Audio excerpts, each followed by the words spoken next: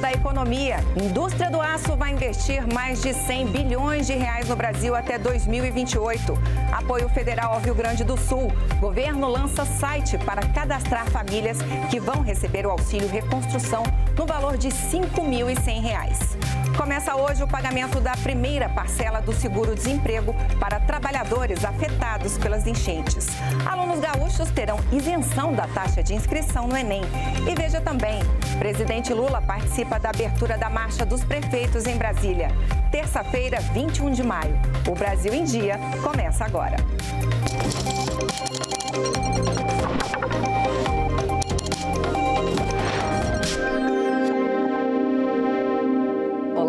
Seja muito bem-vindo ao canal Gov. Lembrando que você pode nos acompanhar também ao vivo pelas nossas redes sociais. 100 bilhões de reais. Este é o valor que a indústria siderúrgica vai investir no Brasil até 2028. O anúncio foi feito por representantes do setor em reunião no Palácio do Planalto com o presidente Lula. Maior produtor de aço da América Latina e um dos maiores do mundo, o Brasil quer ser líder mundial na produção do produto. O setor anunciou investimentos de 100 bilhões e 200 milhões de reais no país após reunião com o presidente Lula. São investimentos até 2028 nas 31 usinas com capacidade de produzir mais de 51 milhões de toneladas. Nós fizemos um trabalho no Ministério da Indústria eh, estabelecendo cotas, ou seja, houve uma grande preocupação em relação à importação de aço, que nos últimos anos teve um crescimento muito grande de importação, levando uma ociosidade de uma indústria de base importante, que é a indústria siderúrgica, e o resultado são 100 bilhões de investimento, melhorando competitividade, descarbonização, gerando emprego e gerando renda. Ano passado, o país produziu cerca de 32 milhões de toneladas de aço. O setor também é gerador de emprego. São quase 3 milhões de pessoas. A indústria siderúrgica também enfrenta concorrência do mercado internacional. Além dos investimentos, o setor apresentou ao governo federal pedido para taxar a importação do aço estrangeiro. Com a expectativa de aquecimento dos setores automobilístico, construção civil e energético no Brasil, o setor acredita que a economia deve crescer ainda mais nos próximos meses. Nós podemos crescer com baixa inflação, gerando emprego e justiça social. Está na ordem do dia, isso está tá à mão, essa conquista.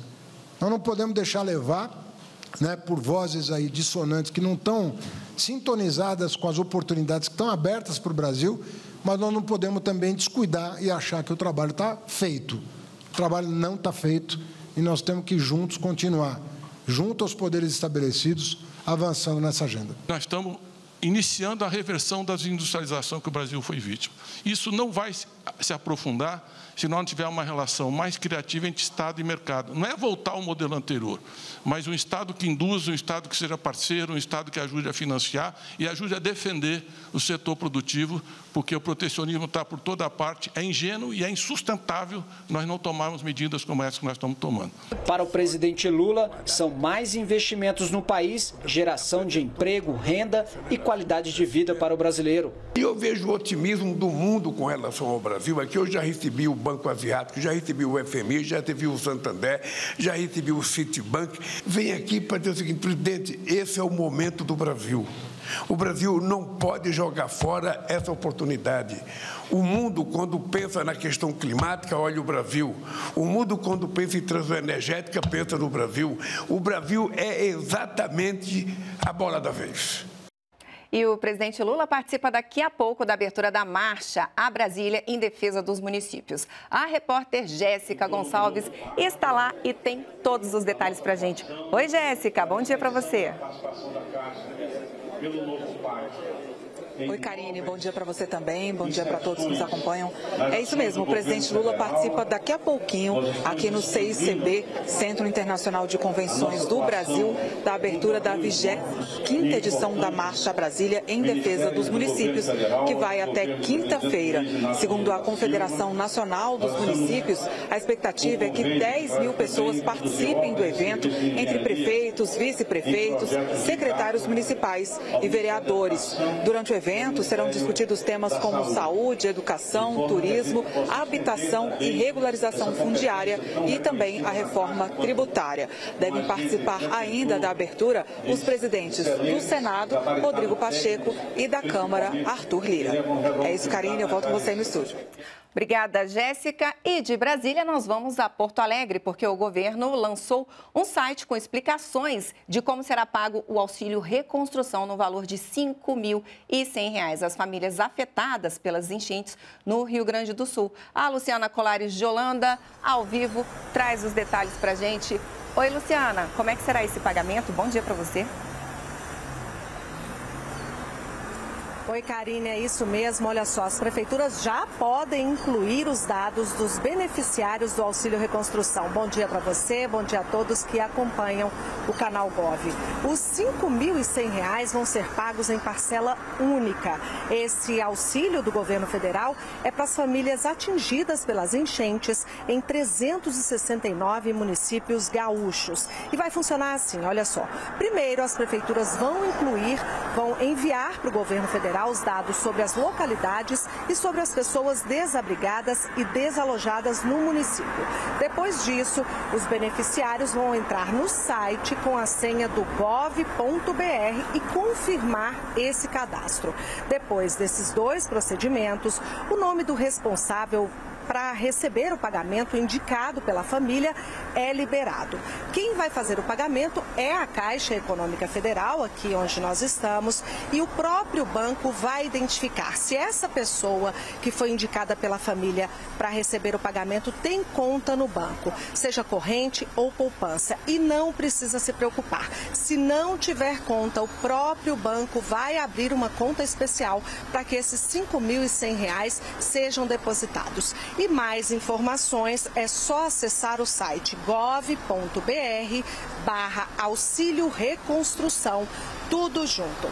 E agora a gente fala sobre documentos, porque grande parte das pessoas que foram obrigadas a deixar suas casas não conseguiu levar praticamente nada. E claro, documentos também ficaram para trás. O governo federal está no mutirão com o governo do estado do Rio Grande do Sul para identificar essas pessoas. E eles estão fazendo carteiras de identidade novas. Esse trabalho tem sido feito além dos postos de identificação nos abrigos. Para quem já tem aquela carteira de, de identidade nova, aquele novo modelo, a segunda via sai imediatamente. E tem outra notícia: essa terça-feira, o governo federal libera a primeira parcela adicional do seguro-desemprego para os trabalhadores de 336 municípios que já estavam recebendo. Serão duas parcelas a mais: uma agora, liberada hoje, e outra no mês que vem, em junho. E ontem, Karine, a gente visitou o centro de Porto Alegre, ali no coração do comércio popular da cidade. É, a realidade é chocante. A maioria dos comerciantes, desses micro e pequenos empresários, perdeu tudo. A gente consegue ver pelas paredes que a água chegou até dois metros e meio de altura. E a gente fez uma reportagem que a gente vai ver agora. As marcas na parede mostram até onde a água chegou. As portas abertas no início desta semana são para tentar salvar o que for possível e descartar o que virou lixo.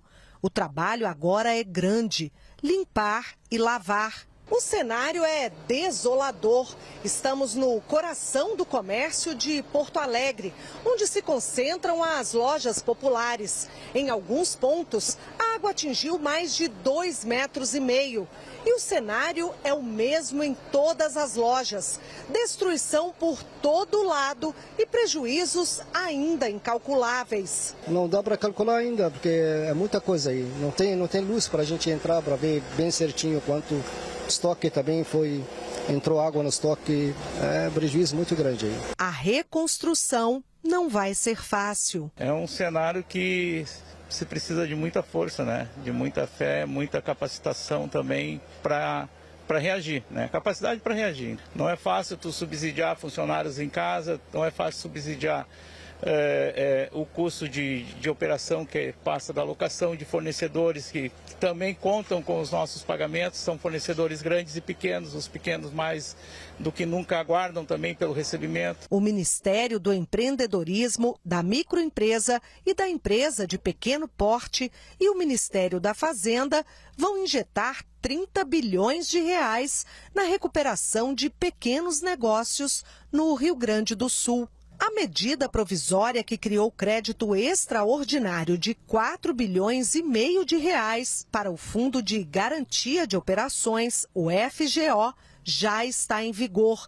Ela permitirá que os bancos emprestem 30 bilhões de reais para a recuperação de MEIs, microempresas e empresas de pequeno porte por meio do Pronamp.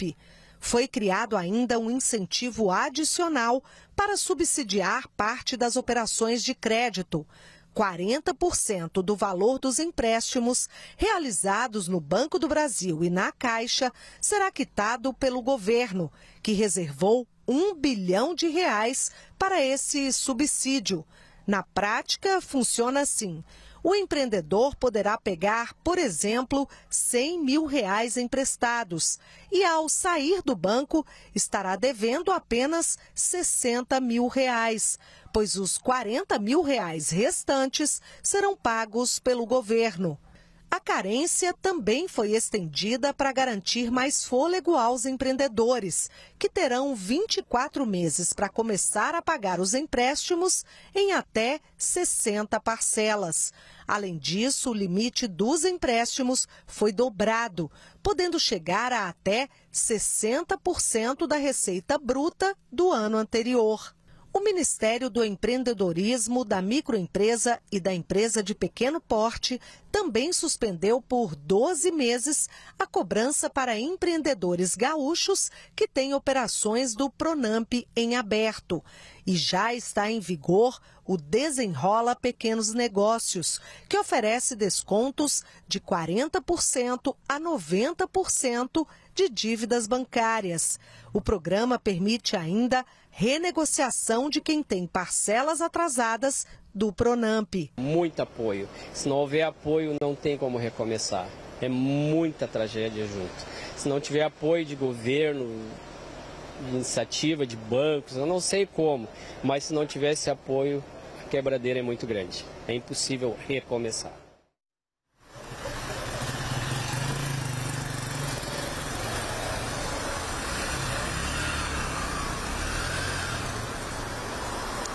E o governo federal zerou os impostos sobre a importação de arroz. Essa medida é para evitar o desabastecimento e o aumento de preços por causa das, dos prejuízos com as lavouras aqui no Rio Grande do Sul.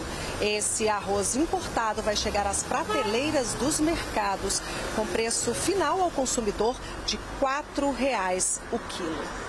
E segundo o último balanço da Defesa Civil do Rio Grande do Sul, o número de municípios afetados no estado é de 464. São 76.188 pessoas em abrigos, 581.633 desalojados e 2,33 milhões de pessoas afetadas. Karine, eu volto com você. Obrigada, Luciana. Boa cobertura aí em Porto Alegre. E o governo federal anunciou novas medidas de apoio ao Rio Grande do Sul para os alunos que farão o Exame Nacional do Ensino Médio. O Ministério da Educação divulgou que todos terão isenção das taxas de matrícula. Todos os alunos que não têm direito à inscrição gratuita do Enem serão isentos do pagamento da inscrição. Isso, a previsão é que seja aproximadamente 40 mil alunos então todos serão isentos, representa algo em torno de 3 milhões e meio de reais. E o INEP, como as inscrições do Enem começam agora dia 27 de maio, o INEP irá divulgar um calendário né, exclusivo para o Rio Grande do Sul, né, até porque nós vamos aguardar um pouco como vai se comportar é, o, o, quadro é, dos municípios afetados do Rio Grande do Sul para apresentar um calendário exclusivo do Enem para os alunos daquele estado. Outra novidade é a ampliação de voos, que já foi autorizada pela Agência Nacional de Aviação Civil para o aeroporto de Canoas, que deve atender toda a região metropolitana da área de Porto Alegre. O ANAC está publicando uma edição extra no Diário Oficial, autorizando as operações do aeroporto de Canoas a partir da próxima quarta-feira. A Fraport vai assumir a operação do aeroporto de Canoas para, no primeiro momento, nós termos disponíveis até cinco voos diários nessa primeira semana. As companhias aéreas já começam a vender os bilhetes, as suas passagens, para a gente poder ampliar a aviação comercial do estado do Rio Grande do Sul. Já na próxima segunda-feira, nós fazermos uma reunião e avaliarmos uma ampliação também de voos comerciais para o aeroporto de Canoas, que nesse primeiro momento será estratégico para a aviação da cidade de Porto Alegre e, naturalmente, da região metropolitana. O ministro Paulo Pimenta, da Secretaria Extraordinária de Apoio à Reconstrução do Rio Grande do Sul, também detalhou as opções para prefeitos e gestores enviarem as listas de nomes de pessoas que devem receber o auxílio reconstrução de até R$ 5.100 do governo federal. Alguns prefeitos têm nos chamado a atenção que eles querem aguardar o momento de cada lista. Por exemplo, se a pessoa está toda a casa embaixo d'água, ele quer aguardar um pouco mais para que a água possa baixar e a pessoa possa receber o recurso já quando ela puder comprar as coisas para botar dentro de casa. Quer dizer, as pessoas que estão em abrigo. Então, cada prefeito, cada defesa civil municipal, cada secretaria de assistência social vai ter a liberdade de analisar a situação do seu município e saber a hora de encaminhar a lista. Não obrigatoriamente, como eu já disse, uma única lista. Uma área que não está embaixo d'água, pode ir antes. Uma área que ele quer aguardar que a água baixe, ele vai mandar depois. Então, vai ter uma flexibilidade para que ele possa encaminhar quantas listas forem necessárias no decorrer do próximo período. E para ajudar no transporte de pacientes vítimas das enchentes, a Força Aérea Brasileira conta com um avião equipado com UTI. Com o atendimento dos hospitais comprometidos com as enchentes que atingiram 90% do estado, a FAB utiliza a aeronave C-105 Amazonas para o transporte de pacientes no Rio Grande do Sul. O avião conta com UTI aérea Neste domingo, três bebês recém-nascidos e dois adultos em estado grave de saúde foram transferidos da cidade de Rio Grande para Canoas. Mais de 50 profissionais, entre integrantes da Força Nacional do SUS, Corpo de Bombeiros e Serviço de Atendimento Móvel de Urgência, o SAMU, além da Força Aérea Brasileira responsável pelo voo, participaram da operação. O hospital lá está muito comprometido. Então, a evacuação das crianças, principalmente as crianças desse hospital, ela tem que ser imediata e devido à estrutura das estradas e à gravidade das crianças, a melhor opção é o transporte aéreo. A FAB realiza desde 30 de abril a Operação Taquari 2, no resgate de pessoas e transporte de ajuda humanitária. E nessa segunda-feira, a Força Nacional do SUS recebeu o reforço de profissionais. Com isso, mais de 200 pessoas atuam nas equipes volantes, com médicos e enfermeiros em 10 municípios prioritários. No socorro às famílias atingidas pelas enchentes que assolam o Rio Grande do Sul, a Caixa Econômica Federal tem realizado um papel fundamental. É ela que gerencia, por exemplo, o pagamento de uma série de benefícios à população gaúcha, como o Bolsa Família, que foi pago aos gaúchos na semana passada. Para falar sobre essa ação e esclarecer algumas dúvidas, a gente recebe agora aqui no Brasil em Dia o superintendente de rede da Caixa em Porto Alegre, Renato Escalabrim. Muito obrigada por estar aqui com a gente nessa manhã. Bom dia para o senhor. Bom dia, é muito especial essa oportunidade de estar comunicando a todas as nossas famílias, trabalhadores, né, dos benefícios que estamos juntamente com o governo federal fazendo os pagamentos e o atendimento. Superintendente, eu já queria começar falando sobre o auxílio reconstrução, esse, esse valor aí de R$ 5.100 que vai ser pago, os beneficiários já podem é, se cadastrar. Queria que o senhor é, explicasse para a gente, né? As pessoas, a gente já falou um pouco sobre isso no jornal hoje, as pessoas que estão sem documentos, que não têm conta na caixa, há motivo para preocupação. O que, que essas pessoas precisam fazer imediatamente? É, a questão né, da orientação, o Ministério está fazendo as divulgações, os alinhamentos com os municípios, a Caixa vai ser o agente operador uh, teremos as orientações da, das etapas. É, tranquilizar uh, as nossas famílias, trabalhadores, a questão uh, das contas, né, a informação que será pela poupança social digital, é uma, uma operação simplificada que a Caixa utilizou no pagamento dos auxílios, tem utilizado, muito simplificada a jornada pelo cliente, então, é, tranquilizá-los. A questão da documentação, também aqui com o Instituto de Perícias aqui do Rio Grande do Sul. É, está sendo gerado as segundas vias, quem perdeu a sua documentação já tem um movimento em 24 horas, já ter a emissão da segunda via e também é, para necessidades para o dia, também uma emissão para o dia. Então, uh, tranquilizar, né? A gente tem aí, as, falando né, de identificação, falando de forma de pagamento, as soluções que a Caixa já vem utilizado é, nos, nos benefícios e também, especialmente, reforçado para esse momento que vive o nosso povo gaúcho.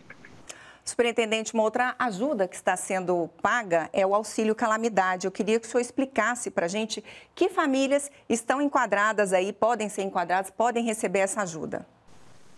É, nós estamos com o FGTS, né, então são 106 municípios com o pagamento, uh, os municípios em calamidade ou emergência são valores de 6 mil até 6.220 por conta.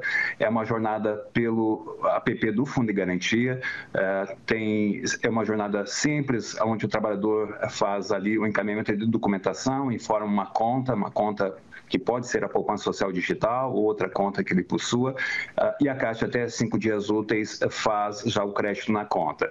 Também na semana passada, e, e se amplia para essa semana, uh, as antecipações de calendários. Na sexta-feira tivemos antecipação das, da, das bolsas, do auxílio gás, então todos o calendário que, que é por final de início foi antecipado, o calendário de maio, então todas as famílias já podendo receber, e também o abono que é, é, temos um escalonamento por mês de aniversário até dezembro foi antecipado também a partir da quarta-feira da semana passada.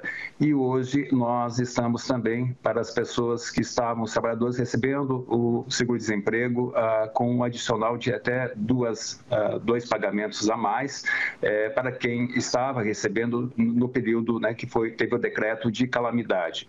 E reforçar estamos com uma rede de atendimento uma, buscando garantir garantir que todos os municípios, por mais alto que tenha sido uh, impactado, Uh, ter uma rede de atendimento, seja na agência da Caixa, seja com uma lotérica, seja com um caminhão da Caixa, containers. Também estamos fazendo um movimento nos abrigos, indo até as famílias, levando essas informações dos programas, dos benefícios, orientando e lá mesmo no abrigo fazendo os encaminhamentos e pagamentos. Então todo um movimento, né, que todas essas vantagens, benefícios apresentadas cheguem no menor tempo possível e nas condições que é, adequadas né, nesse momento né, de mobilidade, também de muita dificuldade dos trabalhadores, famílias se movimentarem, a gente estar muito próximo para bem atender. Maravilha, superintendente. É importante isso que ele acabou de ressaltar, que inclusive está fazendo busca, então, nos abrigos, porque muita gente fica preocupada, né? Porque como as cidades foram devastadas, não é, superintendente? Às vezes fica aquela dúvida, onde é que eu acho um posto da Caixa? Então, além de postos itinerantes, o superintendente está ressaltando aqui que nos abrigos também ah, haverá aí equipes da Caixa é, que estarão aí em busca dessas pessoas. Eu queria aproveitar ainda a sua presença aqui para a gente falar um pouquinho sobre os contratos de habitação. Contratos esses que foram, o, o pagamento vai ser suspenso por um período, né, as parcelas desses contratos habitacionais, o governo vai suspender. Queria saber por quanto tempo esses pagamentos serão suspensos. Por favor, superintendente. Sim, é, é uma medida muito importante para esse momento. Temos é, uma amplitude né, de lares que foram atingidos e que têm financiamento. A Caixa já disponibilizou as pausas de é, financiamentos até seis meses e também é, são uh, prestações vincendas. É, também os mutuários, famílias que tenham prestações vencidas, também a possibilidade de incorporação até 24 prestações. Importante que é por demanda então, é, os nossos motuários é, fazerem a solicitação. Nós temos o Alô Caixa 4004-0104, é, é, um, é telefone, WhatsApp, e também o 0800 104 0104. Aí faz a solicitação, uma solicitação muito simples e já ah, são os contratos já têm essa marcação ah, para que essa pausa, né, essas prestações não, não, não sejam cobradas. Também, nesse mesmo movimento, ah, da, habitação, nós temos os seguros.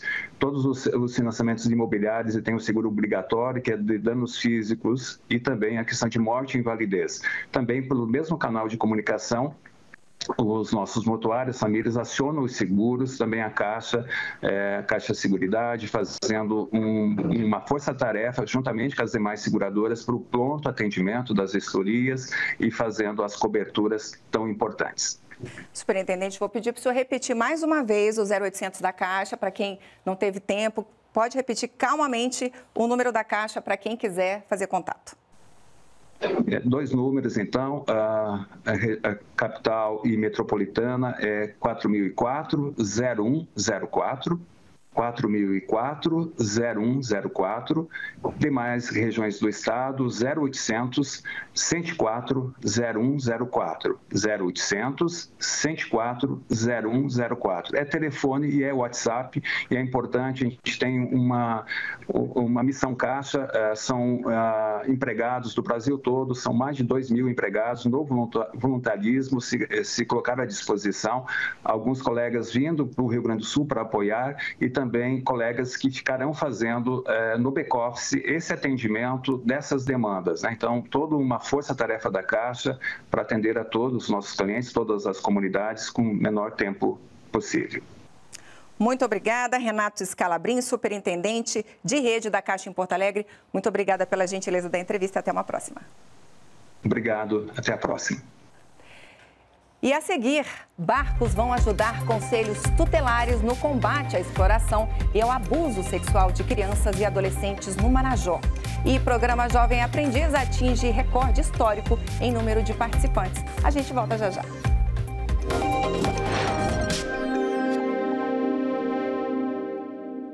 De volta e a gente fala agora sobre educação e mercado de trabalho. O programa Jovem Aprendiz, coordenado pelo governo federal, atingiu recorde histórico em número de participantes. A repórter Cláudia Bojunga tem os detalhes para a gente. Bom dia, Cláudia. Bom dia, Karine. Bom dia a todos. Pela primeira vez, o número total de jovens aprendizes contratados no país chegou a mais de 602 mil no total. Apenas no primeiro semestre, trimestre deste ano, perdão, trimestre, foram contratados 46 mil jovens aprendizes. e esse esses números já vinham crescendo. De 2022 para 2023, houve um aumento de 10,7% no número total de jovens aprendizes contratados. Segundo o secretário de Qualificação, Emprego e Renda, Magno Lavin, esse crescimento, esse aumento se deve ao fortalecimento de políticas públicas e também ao diálogo entre o governo e as empresas contratantes. Vamos ouvir o que ele disse. A aprendizagem é o melhor caminho de entrada do jovem no mercado de trabalho. Os jovens, é, eles estão trabalhando, estão aprendendo, estão se aperfeiçoando quando estão no programa de aprendizagem. É importante dizer também que a gente avalia esse crescimento sobre vários aspectos, mas o aspecto mais importante para a gente é a retomada do Ministério do Trabalho, porque passa a ter alguém que comande, que dirija essa política. É, a criação do Departamento de Políticas para a Juventude dentro do Ministério do Trabalho, a reorganização é, do, dos fóruns permanentes de discussão sobre aprendizagem a discussão com o empresariado, com as fundações, com aqueles que promovem a aprendizagem no Brasil e essa, toda essa articulação que diz respeito à ação do Ministério do Trabalho é que permitiu com que esse número fosse alcançado.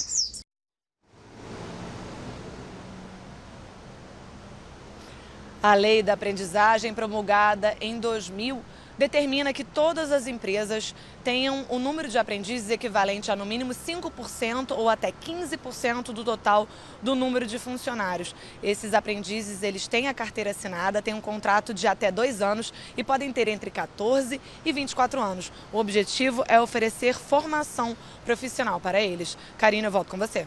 Obrigada, Cláudia. Bom trabalho aí para você. E ainda hoje, sobre educação e ainda sobre educação, está aberto o prazo para apresentar recursos sobre atendimento especializado para a prova do INSEJA. Ou seja, quem solicitou atendimento especializado e teve o pedido negado pode apresentar recurso até sexta-feira, dia 24 de maio, pelo sistema Enseja. E para os moradores do Rio Grande do Sul, segue aberto o prazo para todos os interessados em fazer o exame, que oferece certificação dos ensinos fundamental e médio. A data final para as inscrições também é dia 24 de maio. O assunto agora é cidadania. No arquipélago de Marajó, no Pará, o ministro dos Direitos Humanos e da Cidadania, Silvio Almeida, entregou barcos que vão ajudar no trabalho dos conselhos tutelares no combate à exploração e ao abuso sexual de crianças e adolescentes. A meta é utilizar a metodologia do projeto Mapear, que monitora áreas vulneráveis nos rios da região. Cinco municípios receberam as embarcações que vão ser usadas pelos conselheiros tutelares para garantir que os direitos das crianças e adolescentes da região sejam respeitados. Os barcos foram entregues nos municípios de Bagre, Chaves, Gurupá, Muaná e Ponta de Pedras. Afuá, Curralinho, Melgaço, Oeiras do Pará e São Sebastião da Boa Vista são as próximas cidades a receber as embarcações. A iniciativa é desenvolvida no âmbito do programa Cidadania Marajó. Além da entrega dos barcos, também foi assinado um pacto entre o Ministério dos Direitos Humanos e órgãos da Justiça para a criação de centros de atendimento integrado a crianças e adolescentes vítimas de violência.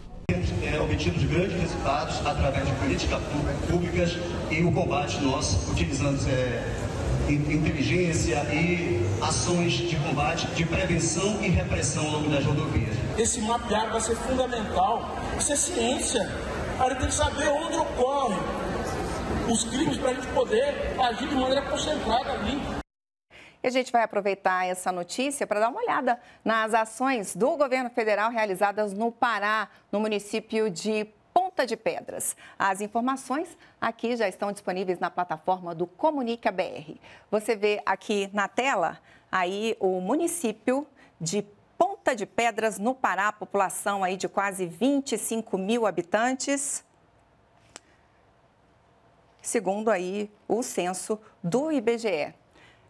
Vamos ver aqui, olha, na agricultura, apoio à agricultura familiar, 39 novos contratos do Pronaf, 156 mil reais de crédito liberado. Aqui na área da saúde, você acompanha aqui com a gente, mais médicos, nove profissionais do programa e nas áreas mais carentes. E na educação, ali ó, ProUni, 44 estudantes com bolsas em 2023, 90,9% com bolsa de estudo integral.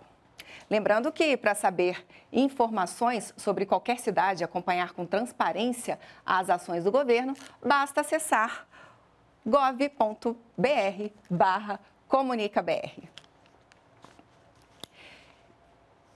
E veja a seguir: governo investe em casas de acolhimento à população LGBTQIA, em situação de vulnerabilidade.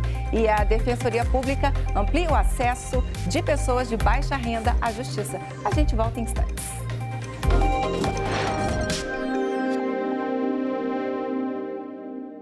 A gente volta a falar da ajuda federal ao Rio Grande do Sul. Nós já falamos aqui da suspensão dos pagamentos das prestações do Minha Casa Minha Vida. O ministro das Cidades, Jader Filho, reforçou a importância das prefeituras preencherem o formulário para levantamento das necessidades dos municípios atingidos.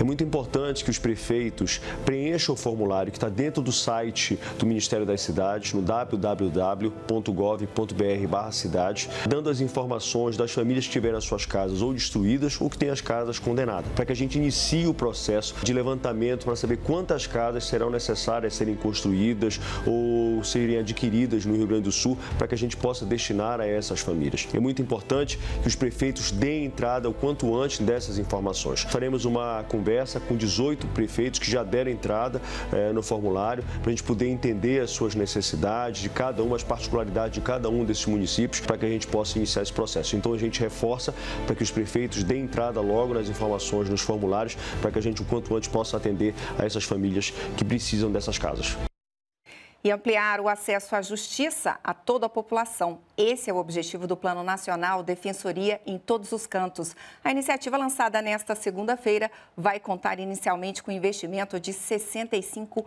milhões de reais.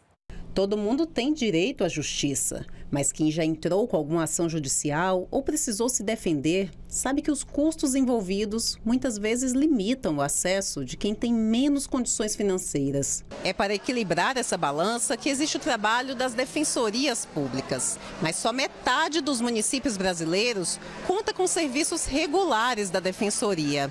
É por isso que o Ministério da Justiça e Segurança Pública lançou o Plano Nacional Defensoria em todos os cantos.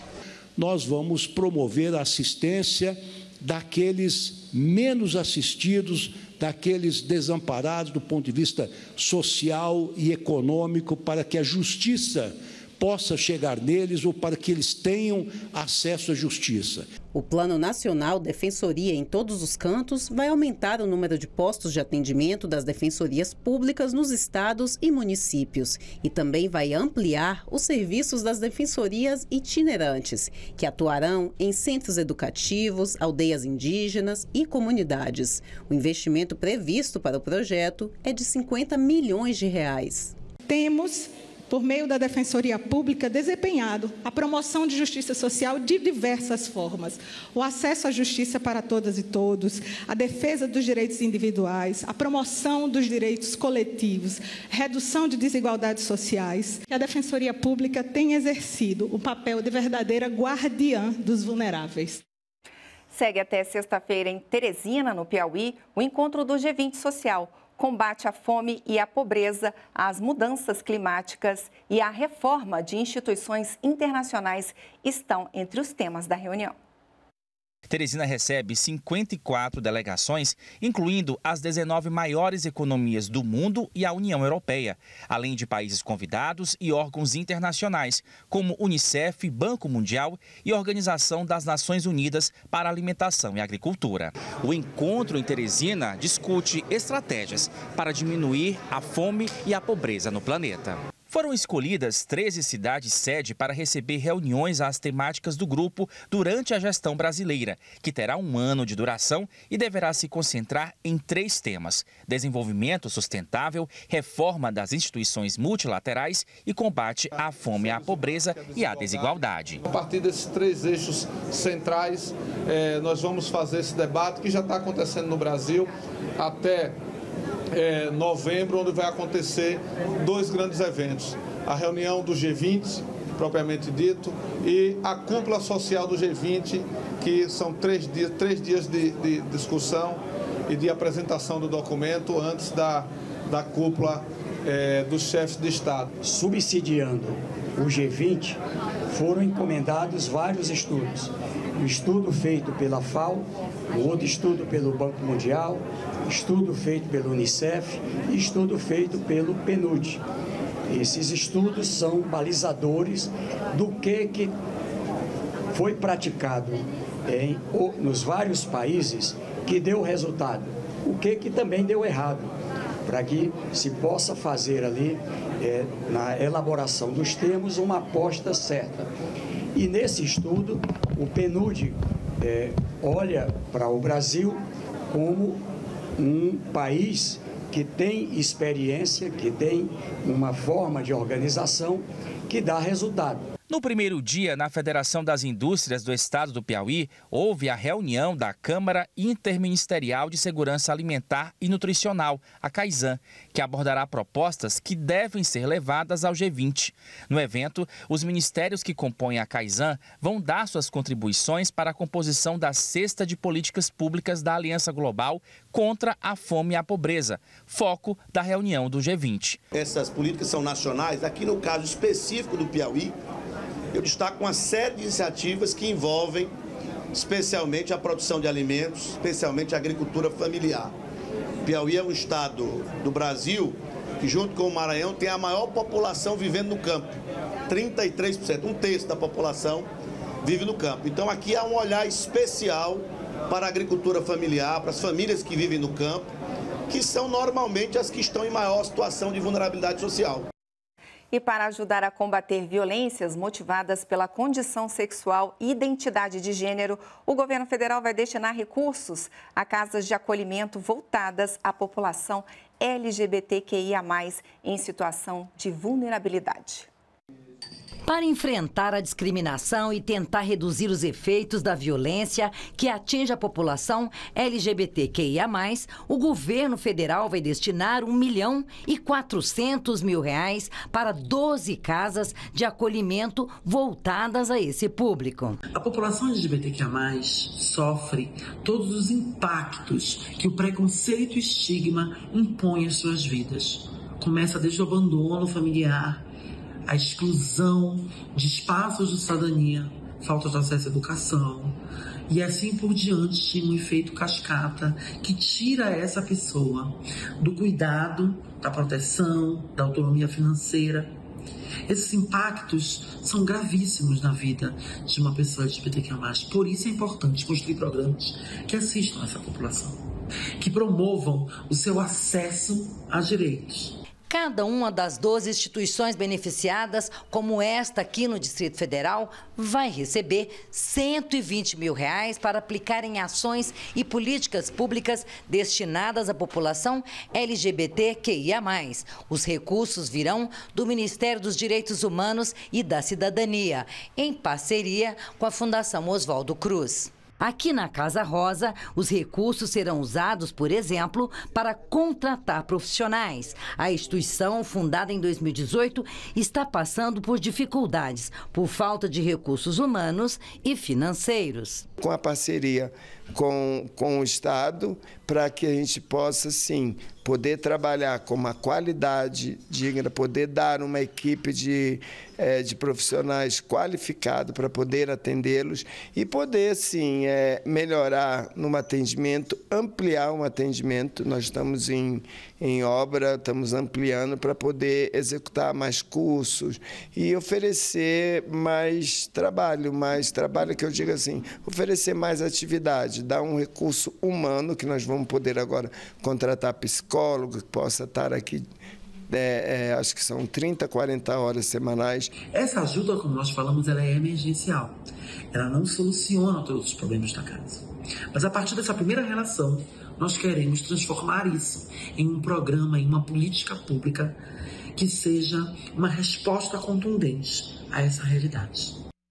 É isso, ponto final no Brasil em Dia, mas o canal Gov segue com programação, mostrando todas as ações do governo federal, com eventos ao vivo, dicas e serviços para você, cidadão.